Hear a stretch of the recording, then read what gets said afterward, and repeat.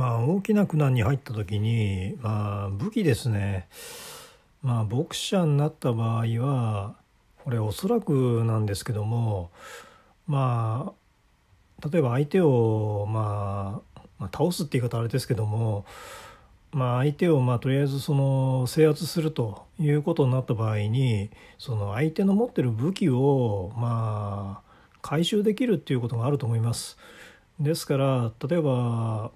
まあ、大型の例えば刃物が結構売れてるってことは、まあ、熊川の人間がまあそれを持ってくるという可能性は高いです。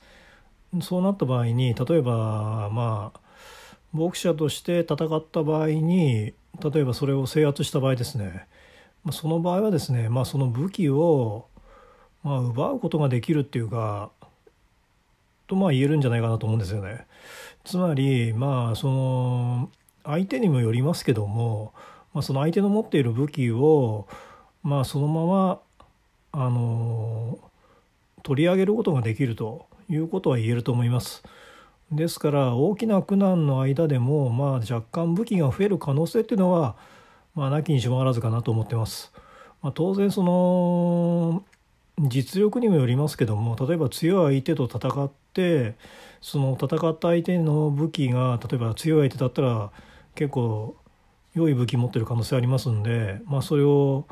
まあ、取ることができるということになりますよね単純に考えて。まあそこら辺のことはまあ実際ありえるんじゃないかなっていうのが自分の見解です。だから例えば AI ロボットが例えば二刀流できてそれを破壊した場合はその持ってる武器を取ることができると、まあ、それは対人間であっても同じことであって、まあ、強い相手がまあ例えば大型の刃物を持ってた場合まあ、それを制圧した場合ですねでいう場合はまあその大型刃物をまあ取ることができるということが言えると思います。まあ、ここら辺はちょっとまあ何とも言えないんですけどもただ現実問題そういうことはあるんじゃないかなっていうのが自分の見解ですね。まあ、今日は以上です。ありがとうございました。